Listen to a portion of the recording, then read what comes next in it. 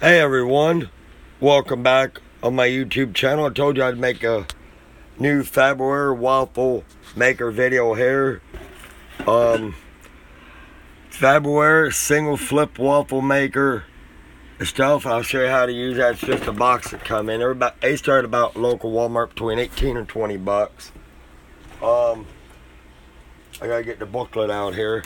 Here's the booklet right here. It has, you know, like cooking tips in it and different recipes, different things. But actually, this works really good, and I do recommend it. All you do, and now this does have a flip handle where you can keep it out of the way so you don't hit like yourself in the belly or nothing, but you can still use it like that.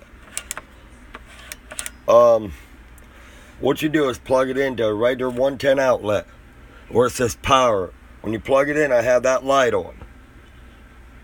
Then it'll show this light here where it says ready. That'll be off while it's preheating.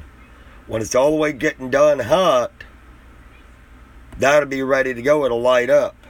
You'll lift your waffle maker up. There it is. You won't need no Teflon spray or nothing in it. You fill your all your grids with waffle batter. You can use pancake batter and or this recipe out of this recipe book we tried. You know, it's pretty good.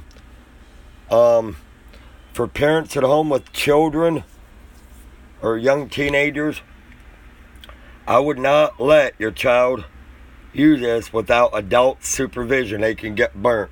And that would start a bad day if you guys go to school with a burn going to a hospital. It did come on this pedestal right here, as you see, right there. It come with this little drip tray. It just slides up underneath like this so it catches any excess. And all I would use to clean it out with, wait till it completely cools. Get yourself a washcloth like this one, just wipe it off real good, maybe use a paper towel, dry it off, that's it. But once you put your batter in, okay, you close it. Now you have to watch how much batter you put in, because I ain't used these since Durian Motel since me and my wife stayed there. Yes, they do use these in the morning for breakfast. Um, I had to kind of hold the lid down till it got started real good to firmly press my waffle. And I would just turn it over like that. And you leave it just like that until you see his green light here come on. When that comes on, your waffle's done. You flip it over. Takes a few here because the dish strainer's in the way. Sorry about that. That's all you do. Just rotate it over till that light comes on. When that light comes on, your waffle's done. Flip it back. And you lift it up. And what you want to do, sorry about the noise, I had to get something out of this zinc here. Just use one of these to yank it out, which is kind of go up under the edges a little bit. Maybe grab it if you can with your finger and throw it out on your plate. But I can't stress enough, use plastic on all surfaces non-stick because my first wife I was married to before I got my new one would always use metal shit on Teflon and it would scratch it all to hell and before you know it, it would stick. But that's all you do, just put your batter in here, fill each well up, and right here how it's creased here in the middle of that X. Now if somebody can't eat a whole waffle like your child, when you gets done, you just split that in half and separate it between everybody. You can do it that way too.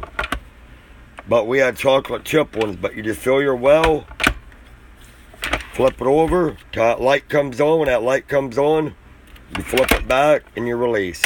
But don't forget when this power light comes on, do not pour your batter until this green light here comes on. It says ready.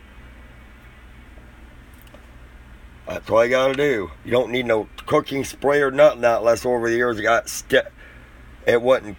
It would start sticking. Maybe you have to use a little bit of Pam or something. But that's good, smooth action right there. But right there's recipe book and everything. That's all it come with right there. And Farberware makes good products. Um.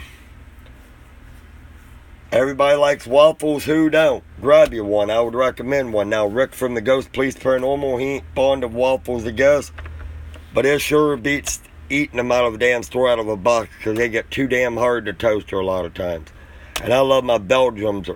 I mean, them son of a bitches are probably at least that thick. Yay thick. And it would be this whole griddle. I tell you how big they are.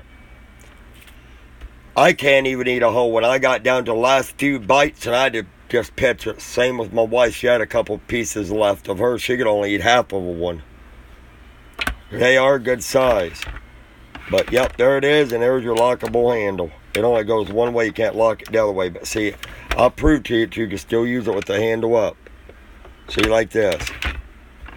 You can still do it like that, even with the handle flexed down, or you can do it upward. But anyhow, if you like the Farberware waffle maker, slip Philip waffle maker. I mean, if you got a bigger family, you might want to buy more of these besides one, or you're gonna have impatient people. Just for me and my wife, Want to be good enough. But I hope you like, subscribe, comment. You know, I did the coffee maker video. I did the the pressure cooker 7-in-1 crock pot deal there earlier. I got one more video to do this week, and that's on my volt meter. It's supposed to be here this week, an analog meter with the needle on it.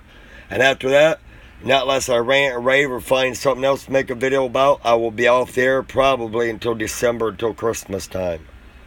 I got a bunch of videos coming out around then.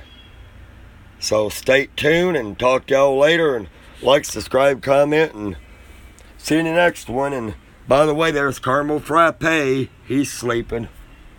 But, um, see you in the next one. And take care. Love y'all. Peace out. Rick, I hope you watch this video. But I know you don't like waffle makers, but at least you know what the kind to recommend to people. Farberware. You know, they're pretty good. So I'll talk to you later. Thanks a lot. Bye bye and have a nice night. Good night. Bye.